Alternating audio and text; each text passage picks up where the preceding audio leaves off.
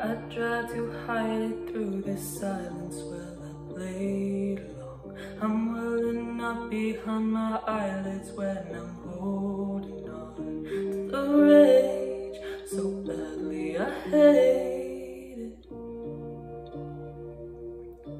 Now wish that all. Mm -mm. Let's speed it up.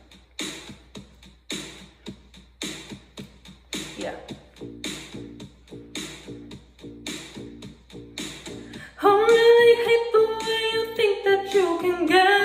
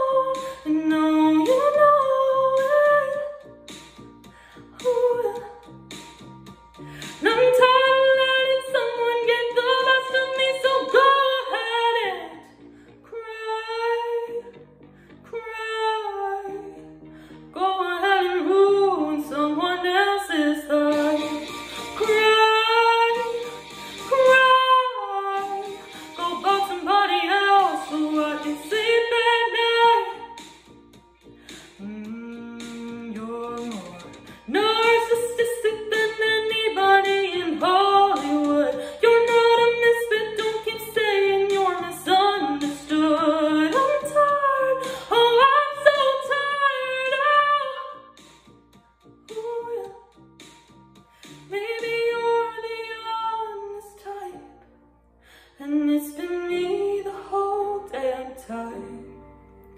I should really try to calm my mind and see things from your side.